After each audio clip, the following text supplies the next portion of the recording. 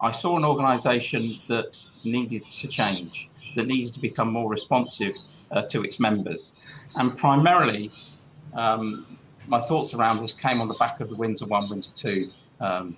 review into police paying conditions. Um, and I saw,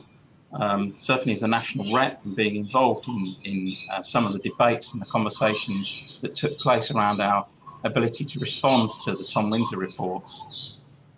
I saw an organisation that was trying very, very hard, but because of the way that it was structured, sometimes um, had difficulty in meeting the needs of the members and being able to respond as quickly as possible to a, what was a fast moving, um, changing policing landscape. Um, and indeed, since being elected chair, it's been um, my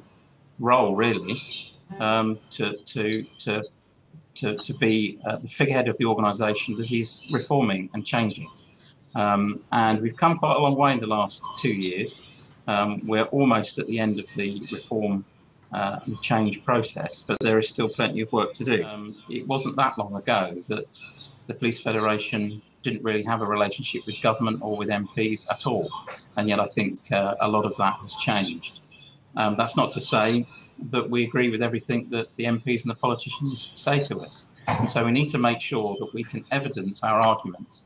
that we can represent the views of our members uh, in an authoritative and evidenced way in order to win the arguments in terms of better paying conditions for police officers, better conditions for the police service, and a more efficient organisation.